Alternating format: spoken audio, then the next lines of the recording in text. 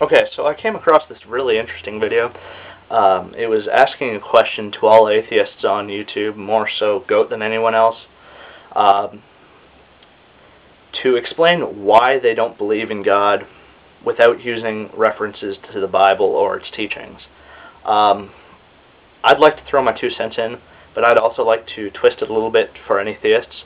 Um, would you believe in a God if there was no holy Bible or any holy writing or um, any holy institution.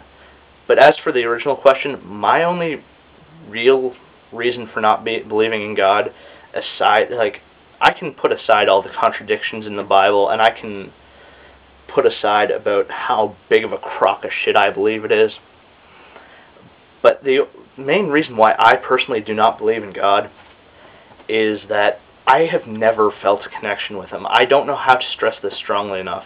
I have never once woke up feeling some holy power. I I was forced to go to church as a kid and I clearly remember believing it was like I said a crock of shit. I couldn't justify anything of what he was saying.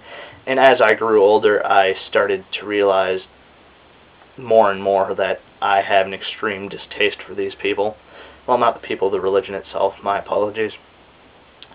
So, to set aside the uh, teachings of the Bible and the institution, what are you left with? A word. And that word holds no significance if it doesn't have any higher meaning to it. And to have that higher meaning, you have to have the teachings, which I don't believe in.